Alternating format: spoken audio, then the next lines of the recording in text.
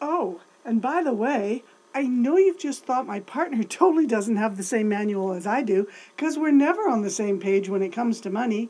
Again, you're 99.9% right. They don't. And you assumed that they did. And guess what? I bet you've never actually shared each other's. And every argument over money is always about the same thing, and you don't understand why they don't get it, and they think that you're just being a stubborn jackass.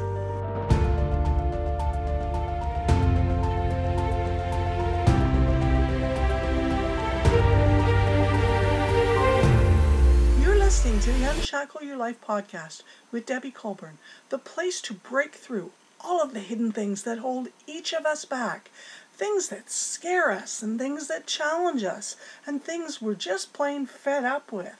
We talk all things money and business, big and small. We dive deep. We get real and we get raw, discovering and exploring what is really possible for you. It's a restart. If you've ever struggled with shame, worry, or just plain self doubt, if you've ever thought it's not enough when you looked at your bank account or your credit card, if you're sick and tired of living a cycle of crisis to crisis to crisis, no matter whether it's in your personal life, in your business, or your relationships, then this is where you need to be. We'll bring you new ideas, tips, and tactics and connect you to the resources to get you unlocking your own shackles and release your unique abilities. No matter what's going on in your life right now, maybe you're in survival mode, just barely getting by, living day to day, paycheck to paycheck. Maybe you're in a job or a career or running a business that is leaving you on empty, depleted, uninspired, or anything in between. I've got your back. Ready? So buckle on up, take a deep breath, and join me in a conversation about jump-starting your life and breaking free of your shackles and create that thing that you've been scared to ask for. Welcome to episode 97. Our world is governed by rules. We all know that. Speeding tickets, bank service charges, not eating with your hands, except, well, let's say if you're from one of the countries in Southeast Asia where that is the culture, all of us remember being told to, as a kid, follow the rules. And few of us would argue that there were times in our past where following those rules have actually saved our lives. Like stop at red lights, no open flame near gas, no robbing a bank. Yet, did you know that every judgment you make about someone, every little inkling of stress you feel as a result of the actions of someone else, is driven by a conflict with your internal rulebook? Driven by the belief that somehow, if only they would behave in the way I expect them to, like any reasonable person would, I would be happier. Surely I'm not being unreasonable. Or am I? I did not know any of that until just recently. I just knew that it really friggin' pissed me off when people were what I called disrespectful. I think that person doesn't give a shit about others. They're clueless about how what they did has affecting affected others. And I get all friggin' wound up, obsess about it, tell people about what happened. I, I could literally feel it festering inside my body. And I know I am not alone here. The reason I do these podcasts is to help people unleash their potential because I understand how much this kind of thing blocks potential, holds us back, makes us our biggest roadblock. And hopefully, these help you get out of your own damn way. And I bet you know what I mean. For every person, every group of people, and for money, we have a very specific personal manual. Yes, for money too. And we're going to talk directly to that shortly. So buckle up and hang on tight. Just think about what you think and say about each different generation.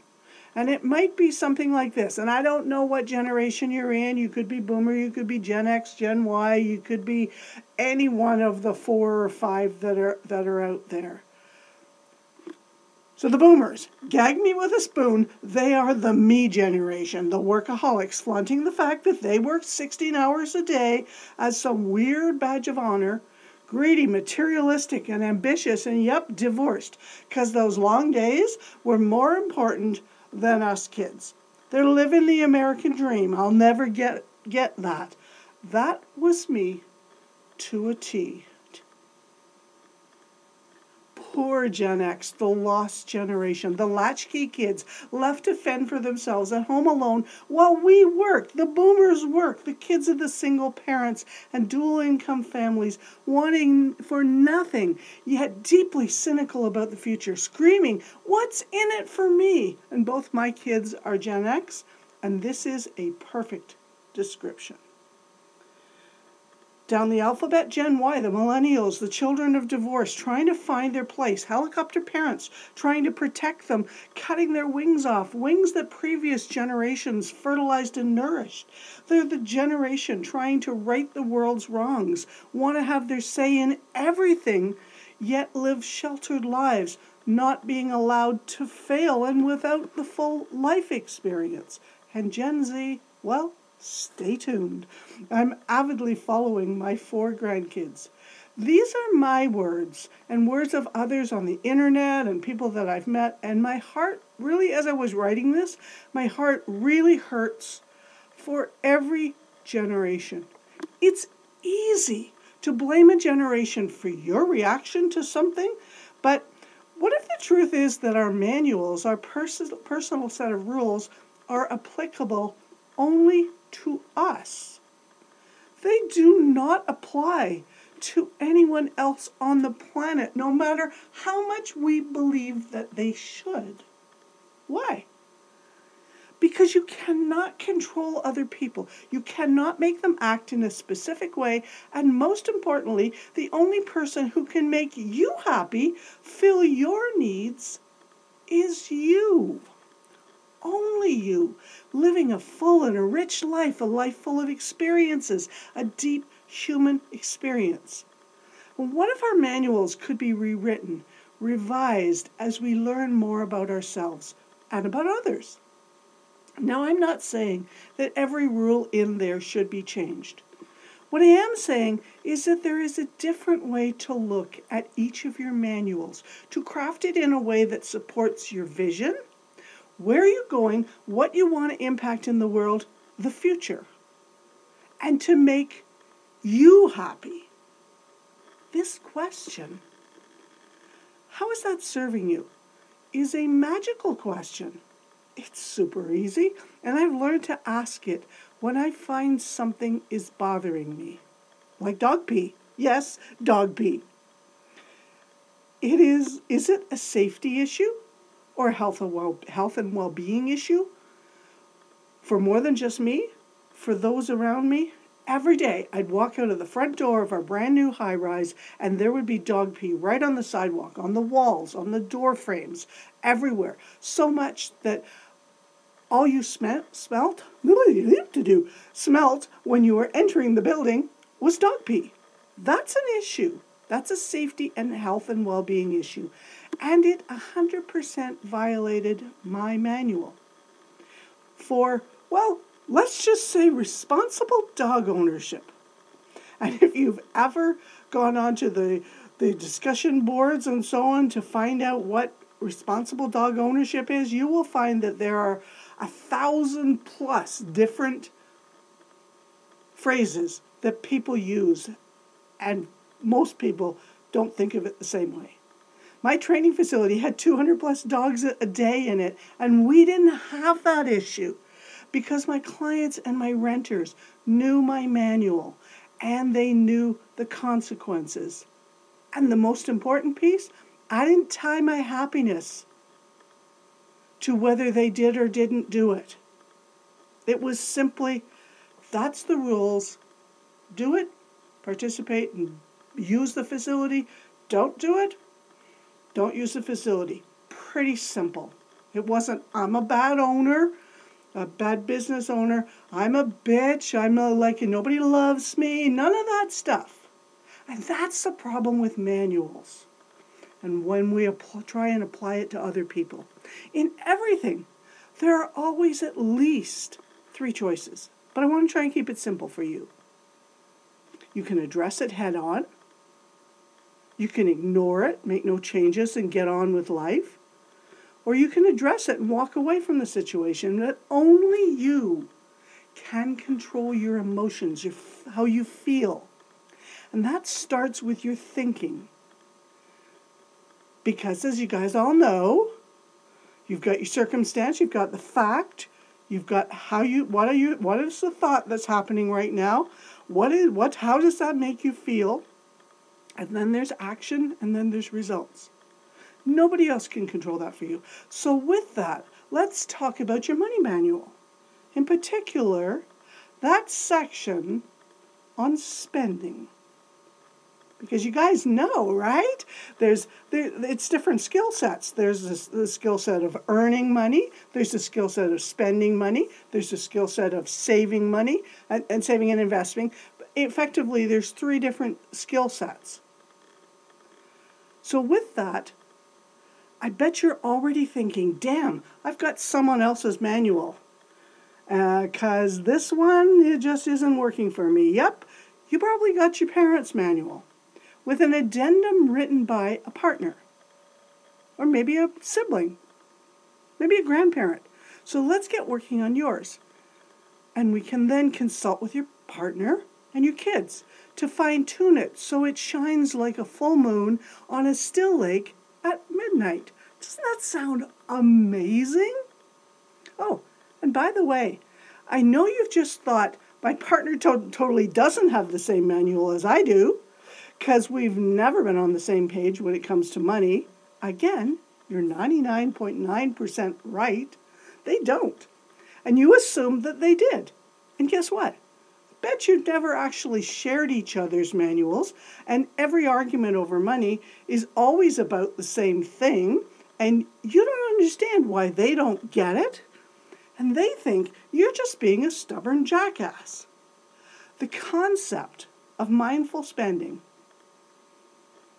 is a set of rules, a set of spending protocols that must support you and your well being. And it's for you. You have one, your partner has one, and then you have a shared one. But we start first with yours. Whether your partner ever gets one, that's one thing. But you got it. You must have yours. And when you have a mindful spending practice in place, you will discover that you do not feel strangled in the present.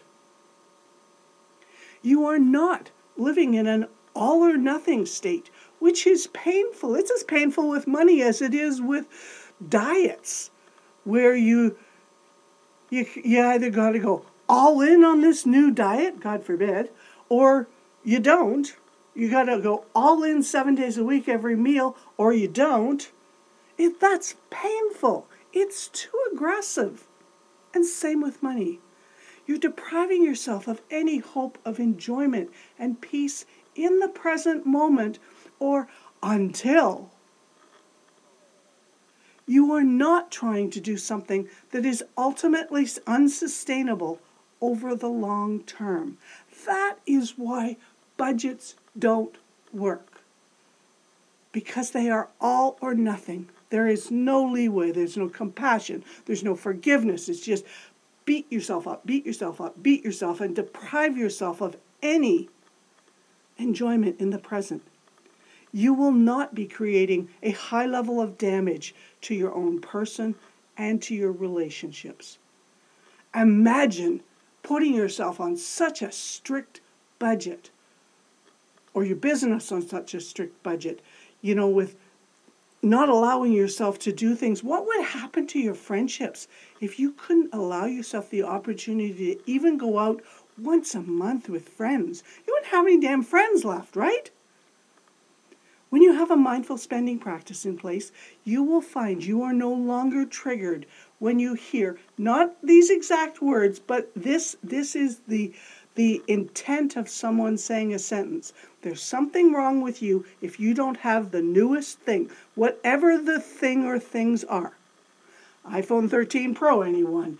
Uh, eco shaming. That trigger will no longer exist for you simply because you've identified the things that are most important to you and those that you don't give a rat's ass about.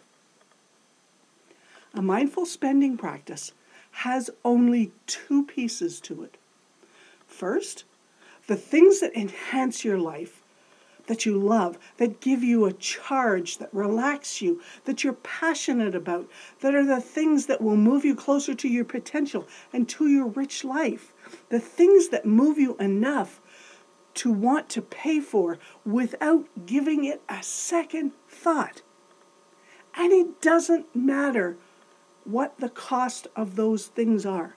And the second, the things that are not in the first, that you are willing to be cutthroat with, ruthless, to keep them as that cost as low as humanly possible. Now, this doesn't have to be forever, but I can tell you it might be. Who knows? The hard part of this is step one figuring out what goes into bucket one and what goes into bucket two. So let me give you an example, which I'm pretty sure at least one or two of them I've, I've shared in other episodes along the way. Bucket one, the love bucket. Driving. It's my most, one of my most relaxing places. I simply love driving. And I love the sports car. So a car is in there, the one that makes my heart sing. And no, it's not a Porsche Panamera or a Maserati or in bucket two is anything cell phone or internet related. I absolutely abhor the cell phone companies and the monopoly on the public, especially here in Canada the highest rates in the world, controlled by two companies, and I am ruthless on keeping my costs as low as humanly possible. Bucket one my outdoor sports equipment. If it's the thing I want and it ticks all, all the needs and functionality boxes, it's mine. Bucket two banks. Again, and this is 100% in line with my vision of eradication of the scarcity mindset in future generations. I am passionate about changing how the poorest of the world are preyed on with bank charges and fees that are the highest for the people with the least. Bucket one personal development, anything workshops, seminars, live events, books, videos, any of that. Bucket two, toilet paper. Yep, it just goes down the toilet. Why in the hell would I spend two and three times, you know, something else just to get paper that is belongs to a that a family of bears thinks makes their buttholes feel awesome? Do you remember back to the early days of the pandemic and the hoarding days of toilet paper? I wasn't one of them. I am just as happy using the Asian waterway. Yeah, okay, you get the idea. Now, maybe it's, you know, so maybe you're bucket one. Maybe it's dinner out. Maybe it's two dinners out a week. Or maybe it's only just once a year. Maybe it's a day hike in the most beautiful location with a couple of bottles of Perrier and some fine Swiss cheese and Mary's organic crackers. Or maybe it's a it's a bottle of the best red wine and a bag of Ruffles chips. Maybe it's an extra large double double, a 12 grain bagel with freshly smashed avocado every morning for every area of your life. What are the first bucket items and what are the second bucket items? Now, each week, you guys know, as I do these podcasts, I hope you're thinking about these exercises and doing them. Because thinking doesn't get you anywhere, doing them does. And it was through doing these and a strategic plan and a bit of trial and error that I've been able to create my Breakthrough Navigator programs that I hope you guys are going to join me someday inside. That work. That's obviously just step one. Smart people, you under you get that. And to create a plan that addresses the other key pieces, we do all of that inside our programs. And I'd love to have you come and spend 90 days with me and create your own breakthrough, whether it's money, whether it's business, or both. I'm here to answer any questions you have or to help you join, which you can get to simply by clicking the link debbiecolbourn.com forward slash breakthrough. And that link is also in the show notes. It's pretty much everywhere. And there's a lot here. And my wish for you is that you take away something that today you will encourage yourself to take the next step, to start building a bias for action into your daily life. You already know that your thinking is what drives everything. So we've created a new daily affirmation. Don't get hung up on affirmation. Call it an intention, call it a phrase, call it a mantra, call it a, a couple of sentences sent to you every day for 90 days so that you can unlock every day with intention. So you can just sign up for that. It's free at debbiecolbourn.com forward slash unlock the day. They're amazing. I gotta say, they're amazing. I actually signed up for it myself so that I would get one sent to me every day because I'm in love with them. And I I love they they totally changed my day and I need those reminders. So we're here. We're at the end. Time for that question that I ask everyone at the end of each episode. What is the best thing that could happen to you if you unlock just one thing in your life today? Hey, if this podcast got you thinking you're ready to change your money or business situation, please make sure you're subscribed and share it with everyone you think needs to hear this. The link is in the show notes and drop a review in wherever you're listening. And make sure you drop over to our website, debbiecolbourn.com forward slash links, to get your very own personal affirmations, mantras, and positive intentions in your inbox every single day for 90 days, absolutely free. I actually get them sent to myself. They are so amazing. And they work for both your personal life and your business. And if you haven't already checked it out, the all new Breakthrough Navigator Money and Business Editions. And please make sure you're connected with us on LinkedIn and Instagram, which is a slightly different name at Miss MS Debbie Colbourn, and sharing what your biggest obstacle is so that we can help you break through.